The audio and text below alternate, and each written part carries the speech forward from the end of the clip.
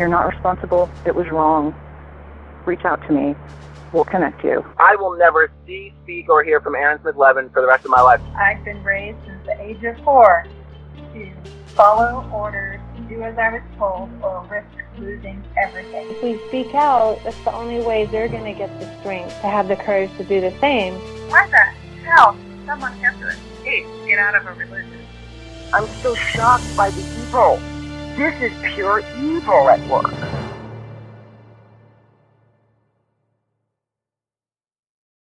Get some extra Scientology edition. I'm Chris C. You can find me and follow me on the Twitter under Miami Sixth Man. Also, the show, this show, come get some extra about Scientology specifically, has its own Twitter account now. It's CGS underscore extra. That's at CGS underscore extra. And you can email the show, of course, using CGS here, H E R E, at gmail.com.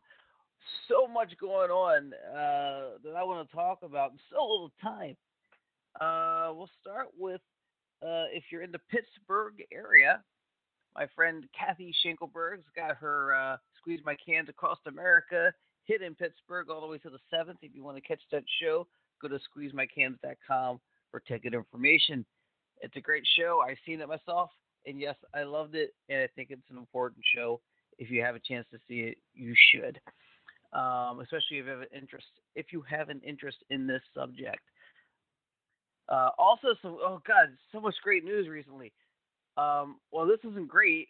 It's it's it's great in the way that it exposes things but there was a place in Tennessee. This was to be a drug treatment facility, I think, and they found uh, for Scientology, and they found two people held against their will at this location in poor living conditions, and they shut the place down in Tennessee. Uh, you can find it in the news. You can find it in Tony Ortega.org Underground Bunker. You get all the details there, and uh, it's not something that it's not fake news. It's not tabloid news. It's something that actually is is legally documented. You can find police reports on it. It happened. It happened. And this whole thing where there was an FBI investigation people talk about that was going on, they got dropped for some reason uh, some years ago. Those files, those documents are now available to see. It happened. The investigation happened. No, what's not clear is why it got dropped, except for there might have been a little bit of concern. This is coming from, I think, one of Tony's sources or something um, from the FBI that the uh, that there was concern uh, that there might have been some tampering going on from within. Uh, and uh, for more details on that, again, because I don't have it right in front of me, and I don't want to just talk out my ass, go to TonyOrtega.org. Um, lots of free plugs for Tony today, but he's got all the information on his website, so you might as well go there and read that. I'm just reporting it. It's great news. It's great stuff. Oh man, I'll tell you. Uh, today I've got Lois Reisdorf. You've seen her on the uh, Leah Remini show, uh, Scientology and the Aftermath. Uh, we get more into her story specifically uh, today, talking about her being a Commodore messenger, reporting directly to L. Ron Hubbard. Uh, we get all the scoop on that and more. Um, and I'll talk a little bit after the show. I want to talk about some more stuff about this part of the interview and uh, next week's going to get a little bit heavier. Um, here is part one of Lois Reisdorf. All right, so you uh, saw her talking about her son's issues, uh, uh Brandon Reisdorf, on uh, Leah Remini, The Aftermath, uh, last season, season one. Uh, I have her right here on Come Get Some. Please welcome to the show, Lois Reisdorf. Did I say your name well enough there? Yeah, we usually say Lois Reisdorf. Reisdorf. Okay, Reisdorf. Yeah. Okay. Gotcha. Sorry about that, Lois. I should I should have gone over that okay. before I started recording. But anyway, welcome. I'm so happy to have you here. You have quite the history in Scientology. You're like the perfect person to talk to if I want to know this versus that. You know, yesterday versus today. Um, you're there through the whole thing. Uh, you grew up as a, you were born into Scientology in South Africa. Is that right? Yes. Yes. I was. Yeah.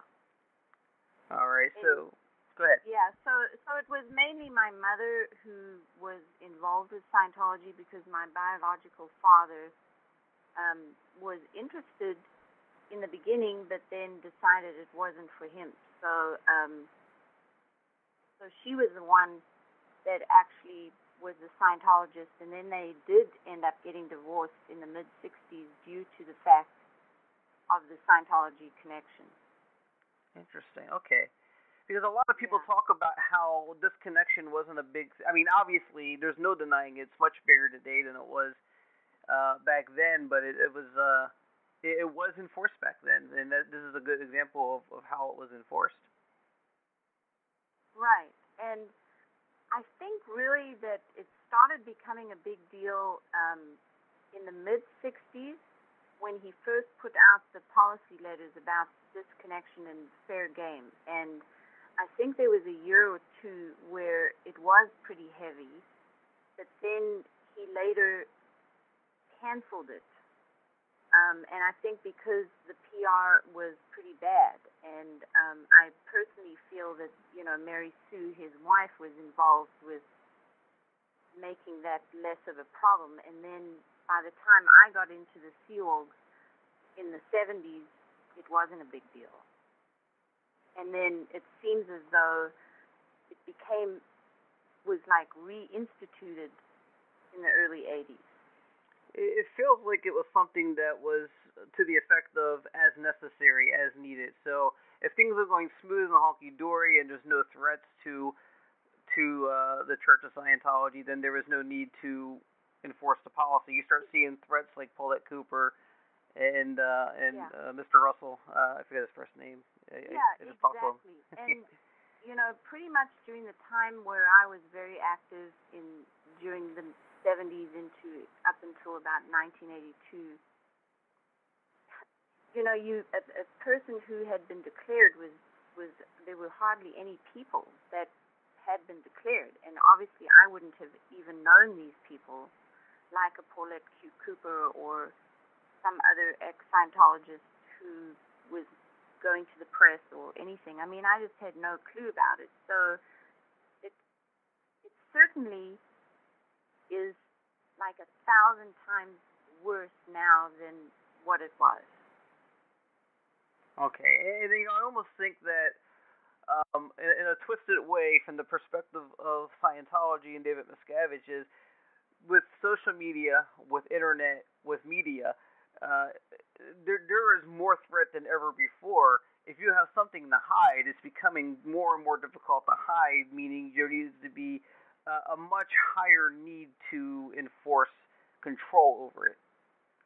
Definitely, definitely, because if there was some local thing going on in some little city in the U.S. somewhere where someone was making up a big stink and it was in the local papers, it would be confined to that area. It wasn't something, you know, that other orgs or the Sea Org, you know, you would ever hear about. Now it's it's all over the place. So definitely, the the control has definitely gotten worse. Okay, and, and- you had um, you had a big family down there in South Africa, right? Yeah, so so between my so my mom married my biological father and they had three kids together. So um there's me who is the oldest and then the other two sisters, the one is helping to run the mission in South Africa and the third one has been at in Hemet at Gold Int since 1980. Okay. And um, So were you close and to so them? that biolog- so that biological my biological father has seen her twice since then. Um, he used to see the other one quite a bit because he's still alive and in South Africa. But since my whole situation, she hasn't now been communicating to him, and her kids do not communicate to him. And it's just Then- because he's got an affiliation with you still. Right. Okay, go ahead. And then there's then my mom married Neville Jory, and they're the ones who started the missions and orgs in South Africa. And both of them are deceased, but they had another three kids. Oh so there were a total of six of us. Okay. Now they had those kids after you left for um after you left for Sea Org or before you left to become a messenger. No, before, but then the the the number six one is the one that um was born after I had gone into the field already, and she's actually the one who runs is the like the mission holder of the um, Norwood mission in Johannesburg. Okay, so the family mission still exists down there. Yes. Okay. All right. And uh, L- Levain, is that am I saying that right? Yes. Levain and uh, Yes, Jure. Uh, yes. Yeah. Now Levain is the one who runs the mission, and Jure, um, the other one who is on the video, she actually is the one who's at Gold Int. Okay. Were you close to either of them? It seems like you probably you, like uh, your sisters, but you probably almost didn't all really know each other so well over time. Well, well, the thing is, is um, when Jure came and joined the Sea Org, I was still in the Sea Org, so I had her like under my wing to say, because my then my other sister Dion, who wasn't on the videos, who didn't do any videos, she also came. So I had them under, you know, I was like their mom almost, like in the Sea Org. So, but then when I was declared in 1982.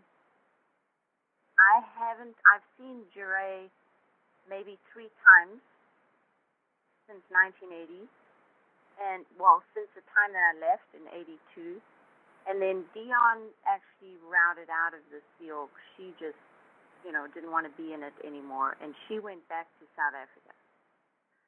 So, Jerry, I haven't had a relationship with, really he hasn't had a relationship with the family really. Okay. I, by the time I got to South Africa, after leaving the Sea Org, the youngest one was eight years old. So I have been in her life from that, from her being eight years old until just a few years ago. Okay. Is she is she in or? Yeah, she's the one who runs the mission now. Oh, that's right. Okay, I got gotcha. the gotcha. youngest. That's Levain. So, you know, she was definitely part of my life Okay. once I left the Sea Org and was in South Africa. Okay, we'll revisit that. Go ahead. Go ahead. You can finish. Yeah, but but but Jure is the one that really, you know, even when my mom and Neville were alive, the communication to them was very spotty. It was, you know, we sometimes would go for a year or two without hearing anything from her.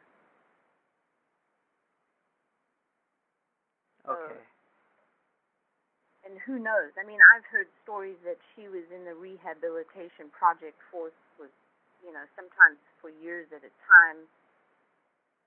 So we didn't know what was going on. She was in, you know, the the most secret location during those Okay. years. So, And that, that's hearsay. You don't know for sure. Pardon? That would be hearsay, though. You're not sure. You think You- you've heard something. Yeah, maybe. I'm, yeah. I'm not sure. So, so the thing is, is I'm from what I've understood is that she definitely said in the video how I wasn't part of the family, but that's just like so ridiculous because she wasn't, and Well- I was very much a part of the family. Yeah, we're gonna jump around a little bit because we, we have to get into the video now. we we got to the video uh, at at the beginning here. That's good though. Um, there's something about these videos they put out besides the fact that they're clearly staged, um, and Yeah. that they put these family members in a position to say these negative things. Um, I just want to point out a couple things, and and you know they sound negative, but it's important to put them out there so you can point out the inconsistencies in them because once you point out the inconsistencies in something, you lose the value of those statements. Um, Jure had said in the video that over the course of a year, uh, your youngest youngest son, Brandon, is he your youngest or a middle son? No, Brandon's the the middle son. Okay, And Craig is the youngest. Craig's the young. Okay, so Brandon supposedly sent 93 threatening emails over the course of a year. Now, that by itself probably is a deflated number, probably an exaggerated statement, all by itself, right? Or am I? Or Yeah. would- you Yeah, know, exactly. So there was a time when he had his mental breakdown, which was in April of 2016. So there was most probably maybe including March. So March, April is when he was having his breakdown. And that is the time period that he apparently sent emails. Okay, so so Um, that's what you're. prior yeah, prior to that he was actually working at the local church Okay. here in San Diego. So there was no way that this was going on for a year. Okay, well, this is what's interesting about it. That's what Jure says. In Right. in Levaine's video, she says 93 emails recently. In the Right. writing on the website, there, there's another piece of this. In the writing of the website, Lois, to document it right above their videos, 93 emails in one morning. That's a lot of inconsistency there in that one page of uh, of hate there. So Yeah. it's And- very clear what's happening. And from, yeah, and from what I understand is that because I never read those emails because I wasn't, you know, everything was just so shocking to me at the time. Sure. It was just, I didn't want to read them and see, you know, how crazy he had gone with his breakdown. So, but from what I understand, it was a real short amount of time. Okay. Uh, But my point isn't. That, I'm not even focused on, and you know, maybe it's a little disturbing. Sure, 93 emails. I'm not even focused on that part. I'll focus on the fact that this site, pretending to be able to tell the truth and give you the honest look at what's happening, is giving you three different stories on one web page. Yes, that is crazy. I mean, it's it's it's insane. Now, furthermore, in Jure's video, her statement about you is that um, this was all you. Okay, so they never wanted to not be a family with you. They never wanted. They never not wanted to be united. This was your doing. You didn't want to have anything to do with them. If you watch Levaine's video, she says it was all us. We didn't want anything to do with her. Again, they're conflicting statements. Um, Right. there, there was more to it, but those are the things that really stood out to me about that. People can see for themselves and maybe have a good, you know, it's kind of sad, but you can have a good laugh at it too. It's um, very, it's almost comical how much they don't have their, they don't have their act together trying to put together this hate video. Yeah, exactly. Um, you know, and then you know, I don't really talk, I don't really have a lot of notes on Craig's video, and we'll come, we're going to come back to the Craig video, but but it's just overall, Craig's video, there was nothing really a substance to it that I can point out to. It almost sounds like a frustrated teenager. I know he's not even a teenager, but a frustrated teenager that wasn't getting his way, and somebody uh, took him under their wing and said, "Hey, I'll tell you how to get out of it," and gave him advice, and that advice manifests itself in that video, and, and we'll come back to that because that's that's important Okay. to come back to. Yeah, yeah. Um, so so going back, you got a chance, an opportunity to go aboard the Apollo. How did that come about? Well, um, we signed my parents and I because I was the only one who was older than twelve out of the kids.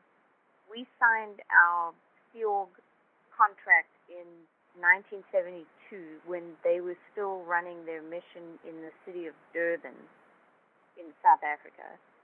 And um, a Sea Org mission had come to recruit us.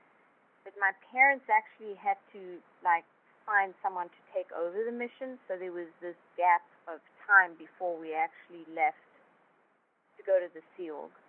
And, um, you know, at the time, I mean, when you're a 12 year old and you have your parents telling you, and you, you hear these missionaries come from the Sea Org telling you how incredible everything is to go into the Sea Org and what you're going to be doing and you're clearing the planet. I mean, I was just totally enthralled. And um, so basically in 73, then we, we went over to Europe, to Copenhagen, which is where, you know, the AO, the Advanced Org and St. Hill for Europe was. And my parents were both trained auditors, so it was, you know, they were a prime target for them. And and if I remember correctly, you know, you were promised that you yourself would be able to go up the bridge. And with my parents at the time, they had five kids and very strapped for money. Um, they you know, their future just running the mission, they, there was no way that they could see that they would be able to go up the bridge. But if you joined the Sea Org, you would be able to get that for free. You know, so Mhm. that's what was the carrot, I guess, for them. Now you hear about people in the Sea Org today in modern Scientology not having time really to do their studies with all the the well, labor. Even, yeah, but even then, even then, you didn't. yeah, So well, that's what I was going to ask you. Yeah. nonsense. Yeah, it, it, you know, I was, I think I was a, if, if you could say lucky, that one of the few that was able to, to do that.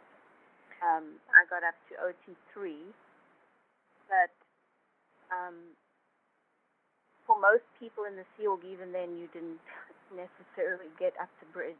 Well, that seems like pretty far. Yeah, for for that. Um. Yeah. So, I, I, and and at that time, the SEALs would take children, and so I was 13. I just turned 13, and then the next one was nine, and then eight, and then four, and three. oh wow. Yeah. So it was, yeah, it was. So anyway, we got to Copenhagen and started in the Sea Org. That's what we did, and then Well- I got recruited separately to go to the Apollo. A little time later, a mission came from there, and they were looking. They were looking to recruit L. Ron Hubbard messengers. So I was just like a perfect age, perfect. You know, born in Scientology, um, and and I couldn't stand Copenhagen. I actually hated the SEALs there, and so I really thought that the Apollo was because L. Ron Hubbard was there was going to be the best. right. Let me ask you.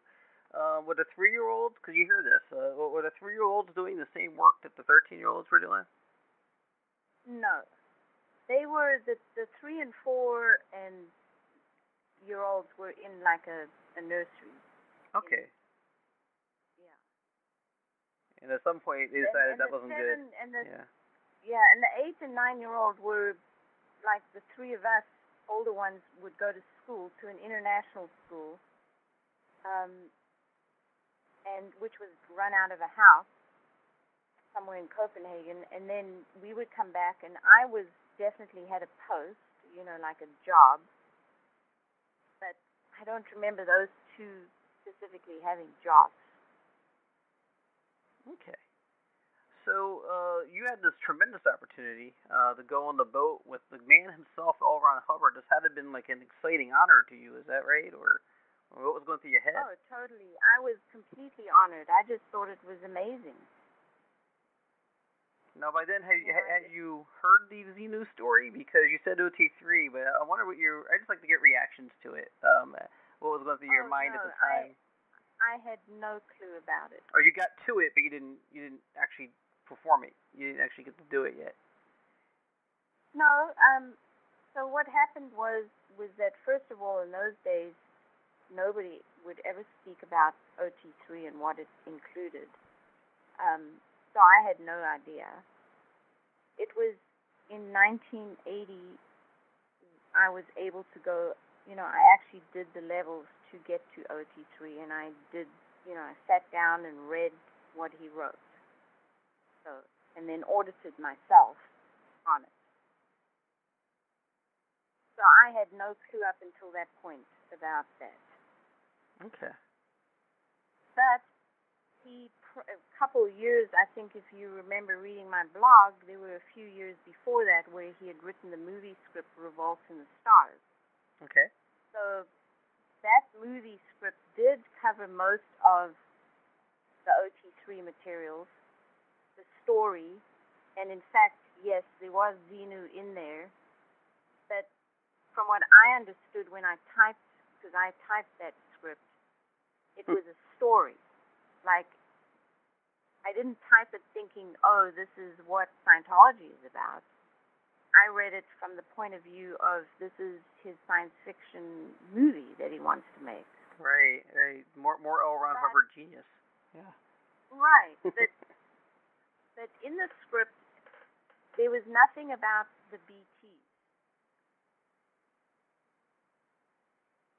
Hmm. Which is only when I went got onto the OT3 materials was that there. Okay. So you know, it was gonna So, make a public yeah, script. you want that to be not leave out the stuff that's you know crazy, that would point back to the religion. so- yeah. Yeah, so when I was reading the OT3 materials, I was going, oh my God, this is the story that I typed, the Revolt in the Stars movie, except there was this BT and cluster thing, Hmm. which wasn't in the movie. Wow. That movie never got made, right? Uh, clearly. No, no, never got made. Well, the great tragedies. Uh, so you you were around. Ron Hubbard quite a bit. You got to be his messenger. Now, now before before I get to this, that's we really want to talk about. Ron Hubbard. But getting on the boat was it was that what you expected the boat to be, or were you expecting like a luxury ship type of uh, experience? You know, I can't remember what I thought. I just remember, I, I do remember that I arrived on the dock in Lisbon and it was late at night. And I remember standing on the dock just thinking that this was such a huge ship. Um, I actually thought that it was going to be smaller. I didn't realize that there were that many people on board. Um, and yeah, I don't know. All I all I can remember is just being horrified at, as to where I had to sleep and stuff. It was just awful. Okay. And I cried, you know, like for the first few weeks of, at night. Did you get upgraded rooms when you got to be messengers directly under um Yeah. L. So so when when you became a senior messenger, then you got a cabin with another messenger. So there were just like two of us, and that was like amazing. I bet you it still wasn't amazing to today's standards of, of boat Oh, cabins, no. but for for what you had before, right? Yeah. And I remember this this other thing that happened which I didn't bring up in my blogs, which was um you had like these these showers. So it wasn't like you walked into a big huge bathroom where there were a lot of showers. They were just like a door and you open it and it was a single shower and then there could be another one next to. Um and I remember that they were made of like steel the inside of it was made of steel, but that what would happen is that there would be holes, Ooh. little holes, and so if there was a guy in Uh, the shower next to you, he could peep in to Oh, through man. the hole, and like in the beginning you didn't know this, and then you finally realize it, and then, so we'd get our our bar of soap when we get immediately got into the shower, and we would plug up all the holes, you know, before taking our towel off and turning the water on. smart. wow. It was crazy. Was there no punishment for that type of behavior on there? No, because you didn't really know who it was, and You saw eyeball. we didn't write knowledge. We didn't write knowledge reports like what it's like today. Was, was, was, do you think I some of it? Go ahead. No, I just don't think I've ever written a knowledge report on anyone when I was in the field ever. No, but that was something. Um, do you think it was different because it was around ship? Do you think those things were just different? Yeah, I, you know, um, I know that he's written all the policies and he's given all the orders basically that everybody's running off of today. But um, he himself didn't adhere to those policies to to a T, you know. Which is one of the It's- things that cult experts will tell you is, is kind of a cult leader would would do. Yeah. But you you So- reflect on him fondly. It seems. Well, well, the thing is, is that I, you know, since I've since I've been reading everything on the internet about him and his history and everything, it's it's really shocking to me. So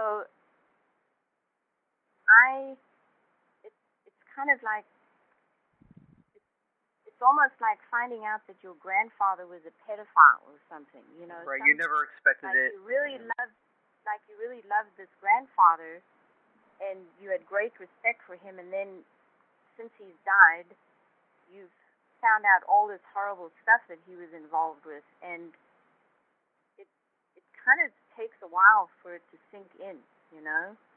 Right, because you're only exposed to so much of them. You're only exposed to that one side, and I feel like the messenger, just from your description alone, I don't know much about it, but just from reading the blogs on Mike Rinder, uh, Mike Rinder's blog site that you wrote, um, it felt it seems to me like on the boat you had to act kind of like family, or else you aren't going to make it. You know, so it had to be a different atmosphere than most other locations, like back before you got on the boat. You know, in the Sea Org. Oh, definitely. And I, and you see, most pr- practically the whole time that I was in the Sea I was in that small community with him. So, and and once we even got on into the U.S., it even became smaller until eventually towards the end.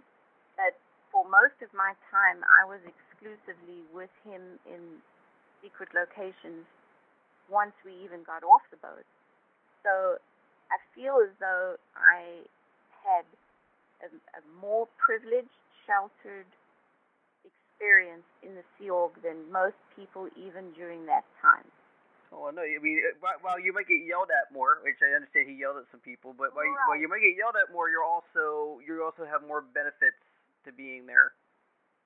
Exactly, and then like Gary, my husband and I, we would talk about the times when we were in the the gold in space, which still exists near Hemet, and we were think we, we were remembering the days when we didn't even have fences up, we didn't have security guards. Maybe there was one security guard that was on watch during the night.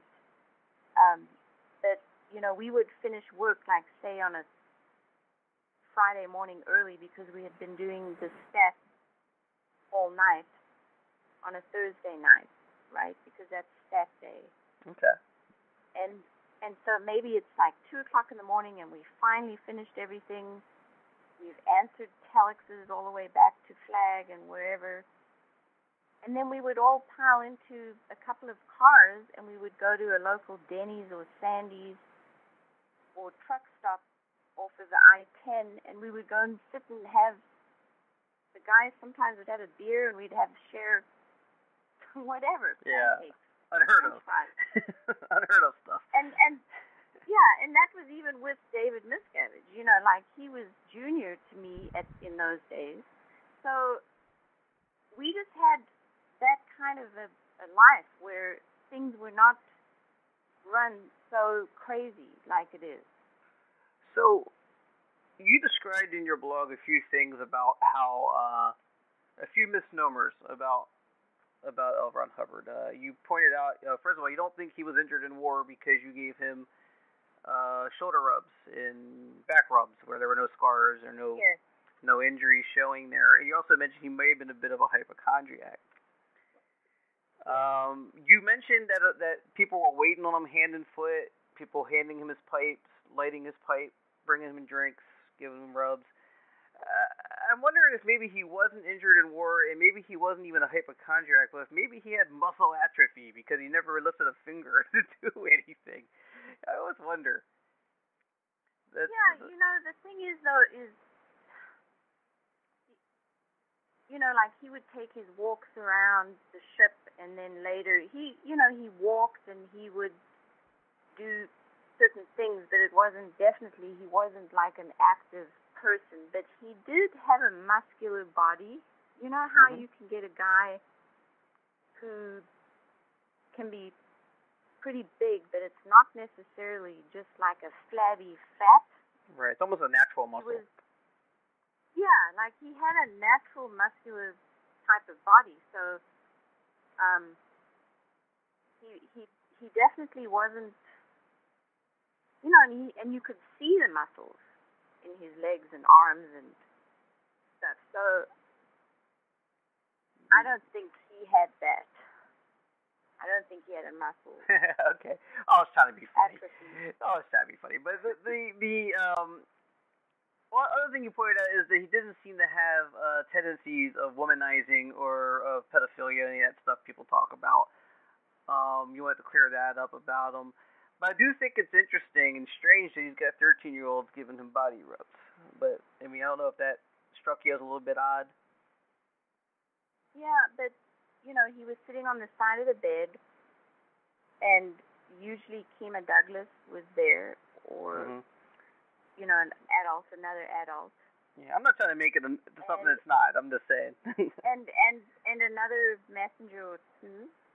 So there were Okay. very few times that there was like a single messenger with him in his bedroom. okay, I, I just I just wanted to bring that up. I mean, I think it's a little odd, but I'm not trying to make it something it's not. Clearly, you didn't witness anything Yeah. like that. I, I don't know that And- he ever did anything like that either. But Yeah, and and I certainly didn't ever feel that stuff like like you know being in the presence of someone but feeling like not feeling that lecherous that lecherous feeling. yeah Yeah, yeah. yeah yeah I never I never experienced that. Okay, well that's good. That's good. I mean, no no one said he had to be a pedophile, but I mean, there's uh, things he wrote points to allowing it and being okay with it, but that doesn't mean he was, and that's important to clarify, of course. Um, Yeah. One thing I found interesting, you talked about in your blog and you're talking about in this interview, is how you were going to various locations undercover. You knew that you were hiding. You knew that you guys weren't to be detected, right? Right. Did that bother you? Did you wonder why you would have to hide with the the leader and the founder of the most ethical religion on earth? Well, I think you know one has to. First of all, I was extremely naive. Um, I the only the only information or in, data that I had in regards to governments and FBI and CIA or whatever was from the you know stuff that I'd read as part of courses in Scientology. I first and and I wasn't American, so I had no clue about the American government or anything. I mean, the first time I most probably ever heard of the FBI or CIA was when I was in the Sea Org in Mm. relation to reading his policy letters where he talks about them. Yes. So to me, they were evil. Right. So you there must be a good reason why we're hiding. We're hiding from these bad people trying to stop us from saving the world. So that pretty much. Exactly. You know. Exactly. I mean, I, you know, obviously now when I look back on it, having the wisdom that I have with from being in my mid fifties is, I look back on that person who I was, and I'm going, wow, just I was clueless. Well, the true irony is there's plenty of people, tens of thousands of people right now, maybe thousands only, of people right now who think the same exact way in 2017. So you know, you're not alone in that. That's not, you know, you you don't have to feel bad Yeah. about that. Right. And and the other thing that I tried to say in my blogs as well is that you know, I grew up in a South Africa, apartheid South Africa, where we didn't even have televisions in the whole country. So, I mean, I honestly had never heard of the Vietnam War until I got onto the ship. Wow. Kind of, kind of somebody from where you're from is the perfect person, the perfect candidate to be in the messenger's office. Yeah, I mean, I was, I was, and the funny thing was, was that amongst our group of people, friends that you know, the mess, other messengers and other people who were our friends on the ship, always knew that I was the real naive one, and I, I got teased, you know, 'cause Right. I didn't, I didn't even swear, like I didn't even understand swear words. Wow. I can imagine that. That's definitely. Yeah, so so someone would say a dirty joke, and I would laugh always at the like the wrong time because I didn't understand what the hell they were saying. so um, yeah, I was I was definitely very naive. Okay. And what were the conditions like before you? I mean, I'm jumping back around, kind of jumping around a little bit, but back at the uh, the base before you left on the ship, what was it like at that location? And Was that like how you hear about Sea Org today, or uh, how can you describe the the arrangement there? From the best of your recollection. Yeah, Copenhagen. That's right. Yeah, it was it was very bad. I mean, the food was bad. The you know where people slept was bad. In fact, where my siblings were in the nursery was kind of like a basement area, and both of those two siblings of mine who were four and three at the time, both have suffered from like things like asthma and, and pneumonia and bronchitis, chest problems throughout their life. And when I look back at what the where those kids were all day, No wonder. and Yeah. sometimes into the night. It's a no wonder. Like seriously, that and and I'm a real estate agent, so I know all about mold and things like that. So I think back on it and I think, oh my gosh, those Yeah. two kids were seriously in in such a bad place and um, not getting good nutrition. And and I personally hated it. I seriously hated it. And I just think that the opportunity to go to the, the Apollo was, was my way out of it, you know. Yeah, into the out of the out of the frying pan into the fire kind of thing. Um, right. But but it did end up being better, you know. I, I, I feel like the, the outer Sea Org bases were in bad shape. Now, um, there's talk about how. I'm trying to see if I have my notes right here because I, I read your I read your blog twice and I have sometimes trouble recalling things perfectly. I don't want to misspeak, but um, did L. Ron Hubbard when he was angry at people sometimes referred to them as Nazis?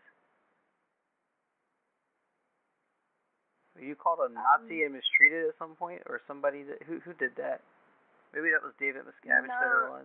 No, that was what I think you're thinking of is when I was it was my original declare order in 1982 and I don't have that but I do remember that there was a reference in it saying that I was like a Nazi Okay, and so that was the his inference- the Okay. inference about that was that I followed orders, you know, like a, a normal Nazi person did. Interesting. Okay, that's a weird. That's a weird, weird statement. It, that's probably why I yeah, it down. was. Yeah, but but no, that wasn't a normal thing that he would say. How hard was it for your uh, mom to not be able to come to your wedding? So, so uh, let's put this lay this out for the listeners. You got you met Gary when you were out there uh, with Elron. You you guys got married, and, and helped you out with the wedding and everything. But you couldn't have your mom there because you were hiding with him. Is that is that am I saying that right? Right. Yes. Now, that had to be difficult for uh, even your mom, right? Does she Yes. does she just understand that this is important to Elron, so she just went along with it, or does she want to Oh, break the rules, or is she hoping to make it? No, she she definitely understood a hundred percent. Um, she was, you know, she would never have questioned it. However, um, I do know that she did like a mock wedding in South Africa with um, local Scientology friends Okay, without us there. that's different. Yeah. she should have just waited until you get. Okay, well, who knew who knew how long you'd be in hiding? Uh, who who knew how long that was going to last? Now you showed a great amount of regret over the next thing we're going to talk about. Um, Okay. It's the blog. I think you know where I'm going with this. You mentioned him earlier. You are the woman. You were the one who recruited David Miscavige. Is that right? Yes. So, yeah. So he had already joined the Sea Org. Okay. and he he had already gone to to Flag in Florida, and from what I remember, he was he was on the Tech Training Corps, which is where they make higher class auditors. So he was already an auditor. He had been recruited to Flag and was now going to be full time training, most probably up to like a Class 8 or Class 12 auditor. And um, we heard about him, the CMO, the Commodore Messenger, we heard because we were always on the lookout for, you know, kids that would qualify to be in our organization, and he was one of them.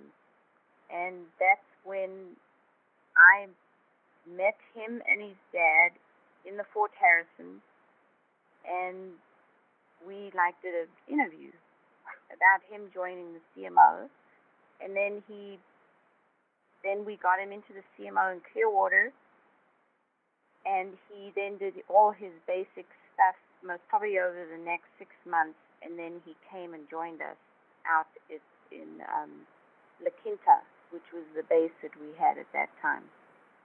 No, it sounds to me from the things I read that, that he didn't get along with everybody so well. He kind of did things his own way.